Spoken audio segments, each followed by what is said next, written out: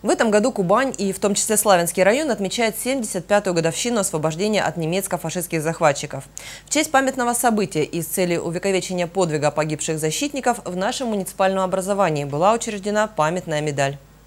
Памятной медалью 75 лет со дня освобождения Славянского района от немецко-фашистских захватчиков были награждены члены общественных и ветеранских организаций, педагоги, занимающиеся военно-патриотическим воспитанием молодежи, активисты, общественники, представители поисковых отрядов. Всего памятной медалью были награждены 200 наших земляков, в том числе 75 ветеранов Великой Отечественной войны.